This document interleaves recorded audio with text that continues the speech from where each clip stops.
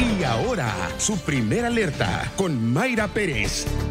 Bueno, y Mayra se dejó ver, se dejó sentir el calor durante este fin de semana como nos habías advertido, pues. Claro que sí, la advertencia ya estaba hecha desde toda la semana pasada, en donde las temperaturas iban a sobrepasar los 107 grados, y así fue, porque en algunas ciudades de nuestra zona alcanzaron hasta los 112 grados, bastante calor durante el fin de semana, y desafortunadamente esta ola de calor estará vigente por lo menos hasta el día martes, así es que hay que seguir preparándonos, porque ve usted esto, en estos precisos momentos las máximas en lo que es la ciudad de Palm Springs alcanzan los 106 grados, las temperaturas máximas para el día de mañana, lo que es el este del Valle de Coachella alcanzando los 108 grados, lo que es Palm Springs Cathedral City, alcanzando los 107 grados. El pronóstico extendido de 7 días lo podemos ver en pantalla. La nubosidad creciente llegará por lo menos desde el día de mañana hasta el día jueves con máximas en los 107 grados para el día de mañana que ya, eh, según el Servicio Nacional de Meteorología, será el último día